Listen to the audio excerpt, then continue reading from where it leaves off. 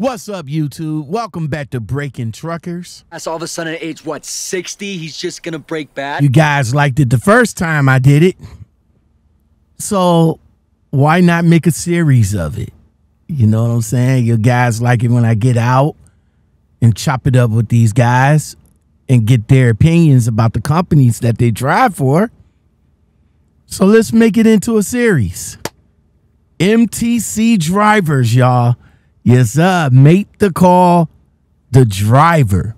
If I see an interesting company or an interesting driver, I'm going to, you know, run up on them, ask them if you want to chop it up with me right quick, and we'll try to get the informations for about the company from a driver's point of view. Let's get into it.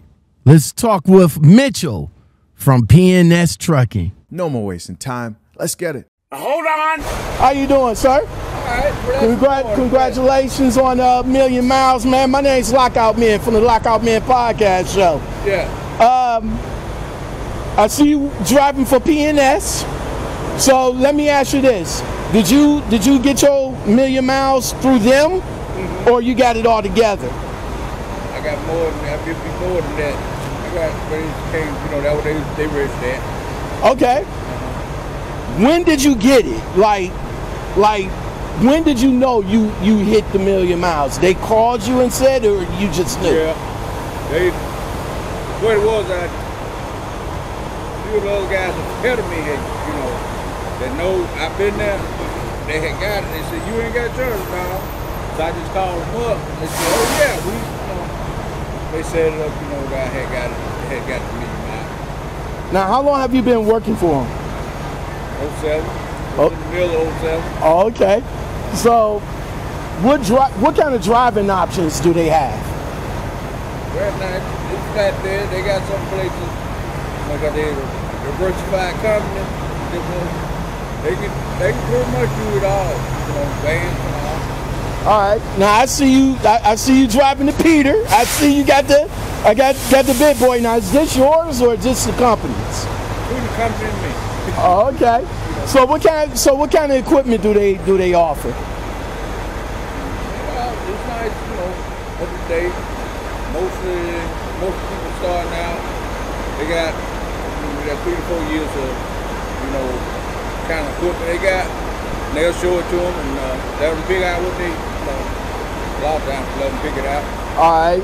Now are the trucks and trailers? Are they? Do they keep them well maintained? Yeah. Very good, yeah. Front facing cameras. How you Yeah, feel? How you feel about that? The camera, it's, you know, uh, at first, you know, you, you said nothing, but after you don't see, the camera's gonna save a few, few people's jobs because of that camera. Okay. Okay. It's all right. Now I know you've been there for a while. You know you've been there since 07, got your million miles. So of course you you you above the echelon in the pay scale. But where where do you have any idea where they where they start for like a new driver that comes in? 27 percent. 27. Oh, so they percentage low, you know, of the low. Oh, okay, okay. And what's it like working there? I mean, you've been there for quite a while, so obviously you like it. It's, all right. I don't have to say it's all right. You know, it's uh, it's getting to know them, letting them get to know you, and you know, trying to keep it down. You know, it's like some some some people have this attitude, some people have that attitude, but you know, it's just going through. All right. I've been very blessed.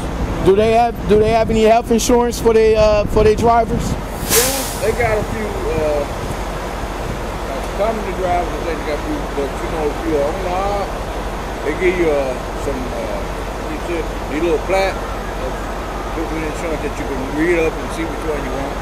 All right, all right, PNS driver. What's your name? Mitchell, Mitchell. I appreciate you, man. One last thing.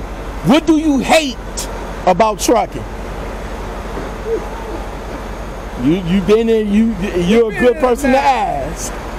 what I know, what I dis, what I dislike now is that a lot of they ain't teaching a lot of young guys what they is though, and it's uh, and that these guys try to drive these trucks like they car.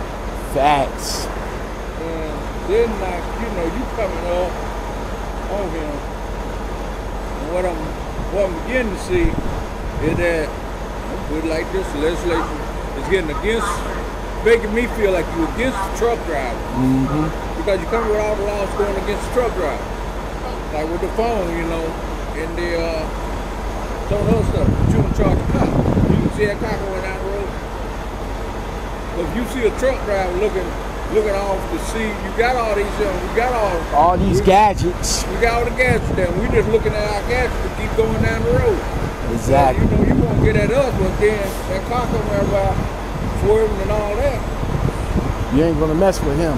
Nah, you ain't gonna mess with him. Mitchell, man. Like, like you got this, uh, that collision thing. Nah, we don't have that. we, we don't have we don't we don't have none of that. We we we clean up in here. Mitchell, thank you very much, man. Check me out on YouTube. Big G's got it locked, boy. Won't you let me all